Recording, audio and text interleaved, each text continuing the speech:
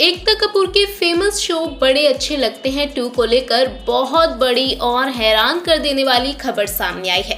कहा जा रहा है कि शो के लीड स्टार्स यानी कि नकुल मेहता और दिशा परमार ने इस शो को अलविदा कहने का मन बना लिया है और जल्द ही शो से अब्राम और प्रिया एग्जिट लेने वाले हैं।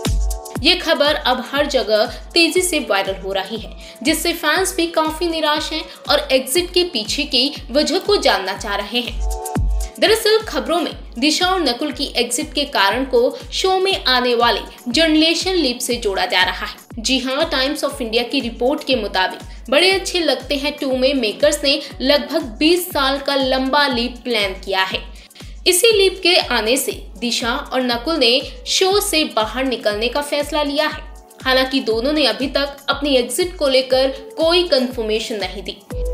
बता दें कि ऐसी खबरें हैं कि नए ट्रैक में मेकर्स शो की कहानी को राम और प्रिया की बेटी पीहू पर फोकस करेंगे और इसी के साथ कहानी आगे बढ़ेगी। खबरें हैं कि मेकर्स इस समय एक्टर की तलाश में जुट चुके हैं, जो इस पार्ट को आगे निभाएगी।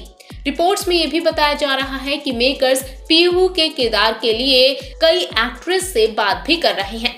बता दें कि बड़े अच्छे लगते हैं टू में दिशा परमार और नकुल मेहता की जोड़ी को छोटे पर्दे पर देखना ऑडियंस के लिए एक बड़ा सरप्राइज़ था। शो में दोनों की केमिस्ट्री हर गुजरते दिन के साथ ऑडियंस का दिल जीतने में कामयाब रही है। दिशा परमार और नकुल मेहता के शो से अलग होने की खबरों ने दोनों ही स्टार्स के फैंस को निराश कर दिया है। हालाँकि अब देखना तो ये है कि नकुल और दिशा अपनी एग्जिट को कब तक कंफर्म करेंगे और क्या कुछ कहेंगे शो से निकलने की इन खबरों पर। वही शो की नई कहानी में मेकर्स किस नए चेहरे को कास्ट करेंगे?